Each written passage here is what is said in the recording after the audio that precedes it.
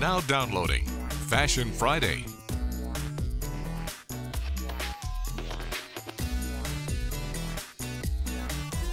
It's the Friday before Halloween, and I'm still in need of a costume. I'm here at Halloween Express speaking with the owner about the latest trends in Halloween fashion and also what it takes to run a seasonal Halloween store.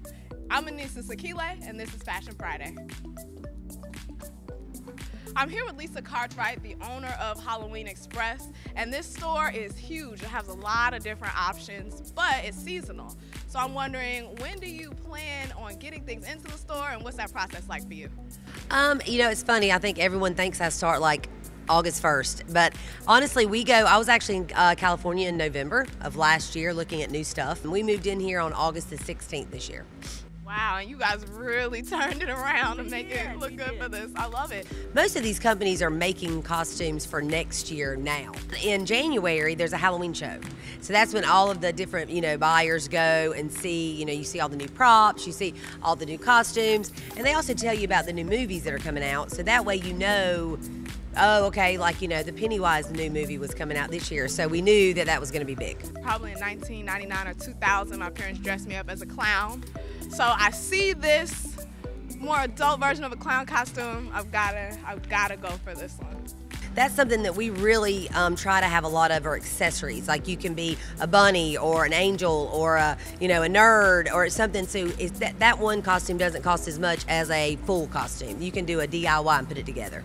So Lisa, thank you so much thank for taking you. time to speak with me. Thank you very much. Well, I tried on a few costumes and I have officially found my Halloween look.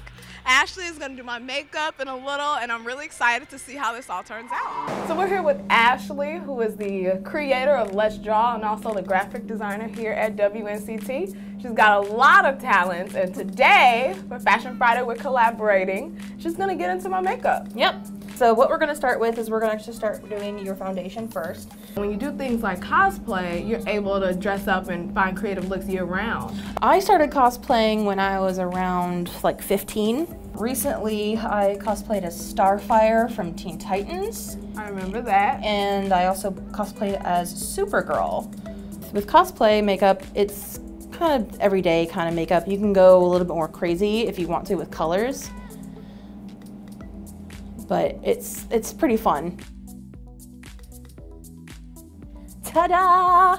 Ashley, thank you so much. You're welcome. I love it.